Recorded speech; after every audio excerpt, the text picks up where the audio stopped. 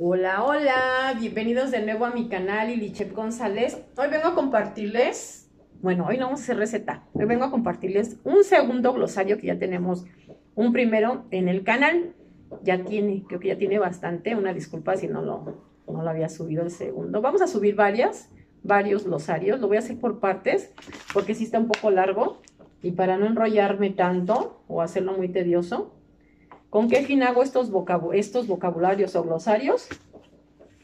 Con el fin de que me llegó a pasar, les comenté en el primer video, de que yo hacía, eh, quería hacer una receta y tenía términos que yo no entendía, ¿no? Términos gastronómicos. Entonces, este, yo decía, no, pues ya no hago la receta. Entonces, también en mis videos pasa que estoy haciendo un corte o X y pronuncio, vamos a hacer corte bronuas, vamos a filetear, vamos a deglasar, vamos y dicen, espérate, Lidia, ¿qué onda, no? ¿Qué es lo que estás, estás en qué términos, no? Eh, para aquellas personas que van a una escuela de gastronomía, usan mucho esos términos y lo que es en cocina, ya cuando trabajas a nivel profesional en un restaurante, ya, este, ya más profesionalmente, pues sí, sí se hablan, ¿no? Esos términos. Entonces, espero de verdad les sea útil. Eh, aquella vez nos quedamos en clarificar que es este, que es dar limpieza a un jugo, caldo, gelatina, ya sea espumoso, filtrándolo o con la adición de claras de huevo, ¿sale? Vámonos con clavetear, picar con pequeños pedazos de trufa, jamón o tocino, o un pedazo de carne cualquiera. Esta operación se hace con una aguja mechadora puntiaguda. Se aplica también cuando se introduce, se introducen clavos de especia a la cebolla. En tu cebolla pinchas los clavos ¿sale? De, de olor. Y son para preparar fondos, ¿eh? Esos también los vamos a hacer, creo que no lo hemos hecho. Ese, ese está, está muy bueno. Eh, vámonos con coser en blanco. También eso es muy importante. En la repostería también coser una masa en moldes de tartaletas, timbales, etcétera, sin relleno, ¿eh? Poniendo en un lugar, poniendo en su lugar, pones la tartaleta, tu masita, le pones lentejas o ya sea arroz o sea frijoles, pero crudos se llevan a cocer a blanco al horno para que no se deforme la tartaleta, no se infle, vaya. Cocer en graso, todo aquello que se cuece con elementos grasos, cuece, ¿vale? Cocer en magro, proceso de cocción sin utilizar elementos grasos. Cocinar, guisar la comida. Colar, filtrar por un colador o lienzo un líquido para limpiarlo, para limpiar las impurezas. Eh, comprimir, trabajar una pasta sobre la mesa con la palma de la mano para hacer una mezcla más perfecta. Condimentar, añadir condimentos a un alimento para darle sabor o color. Confitar, confitar, cubrir con un baño de azúcar las frutas u otras cosas preparadas para este fin. Cocer las frutas en almíbar, endulzar, suavizar, etc. Referido a las carnes, procedimiento de conservación, generalmente la de cerdo, pato o pavo a base de, a base de freírlas intensamente en su propia grasa y, guardarlas, sentarlos cubiertas de grasa. Congelar, someter, someter un alimento a muy bajas temperaturas para facilitar su conservación. Eh, cristalizar, fundir azúcar al fuego hasta que esté dura y transparente. Cuajar, dejar espesar y, solidificar mediante distintos procesos de alimento hasta que éste pierda toda su consistencia líquida, ¿sale? Cubrir, napado abundante, acción de cubrir. Eh, decorar, embellecer con adornos un alimento para su presentación. Derretir, hacer líquida por medio de calor una cosa sólida, congelada o pastosa. Mm, desbridar, porque también existe lo que es bridar. Cuando vamos a poner una carne, una proteína o con el hilo cáñamo, que es especial para cocina, que, lo amarramos, eso es bridar.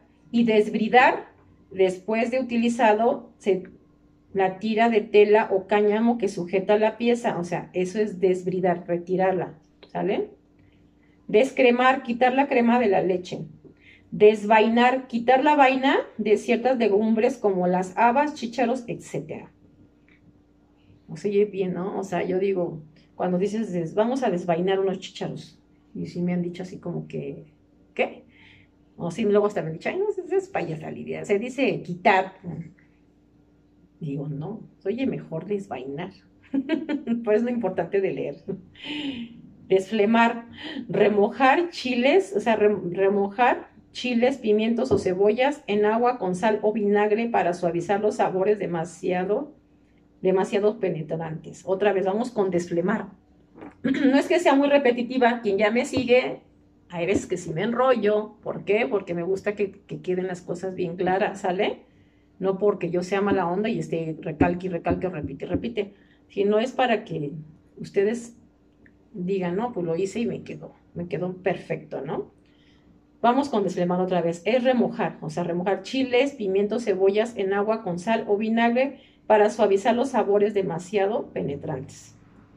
Deglasar, ¿sale? Eso también lo uso mucho en los videos y les pido a veces disculpas porque sí, luego me voy con estos términos cuando digo vamos a cortar este brunoise, vamos a deglasar, vamos a... Y me dicen, espérate, ¿no? ¿Qué es deglasar?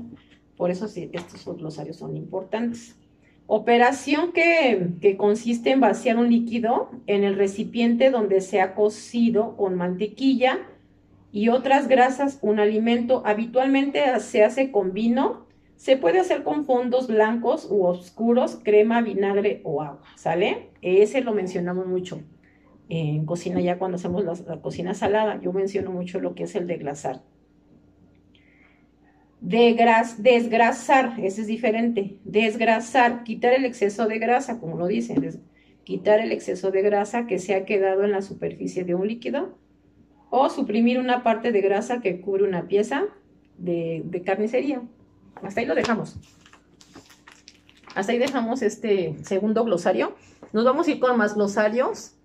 Como les comento, es para que cuando veas tus recetas, llámese conmigo o con con otras recetas eh, o con mis colegas,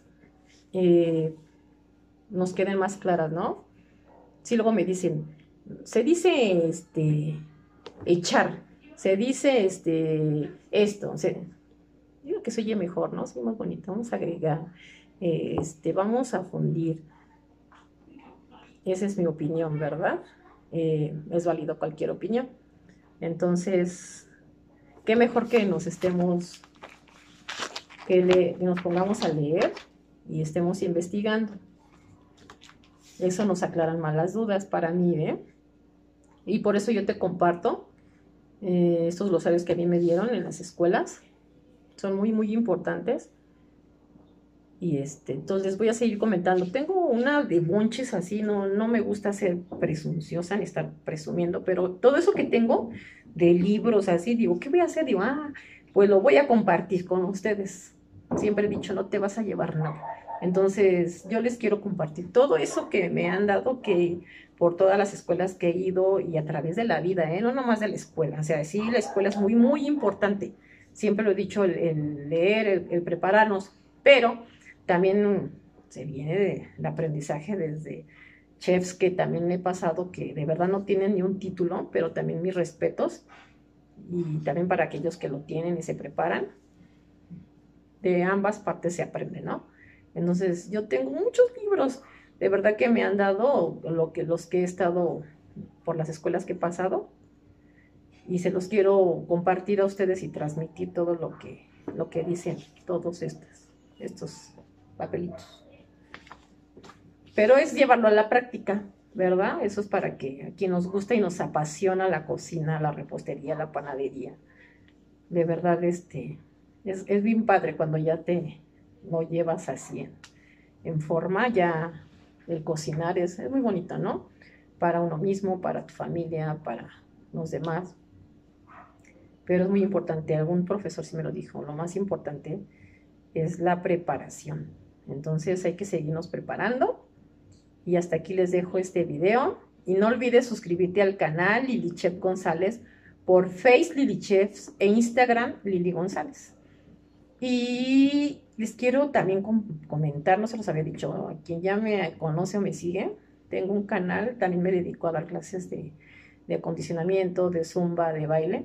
Tengo ya un canal que está en Face, es Lilis Zumba, así me encuentran en Face, Lilis Zumba, por si gustan pasar también ahí a visitarnos.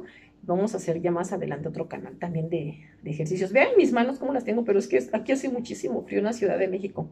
Entonces les quiero, les comparto este canal también, ese nueva, esa nueva página que tenemos, para que también este, conozcan mi otra parte de, de nada más de estar cocinando.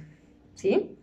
Les agradezco mucho, eh, síganse suscribiendo, eso es muy, muy importante de verdad, que nos apoyen, eh, que ustedes con qué nos pueden pagar más que con su like, con su like, con su suscripción, compartir nuestros videos, coméntenme, tengo videos donde tengo muchos comentarios, muchos, hay un, uno creo que es el de la cochinita, varios, pero sí, este, digo, ay, esos mil, dos mil, ¿cómo me gustaría que se suscribieran? Suscríbanse.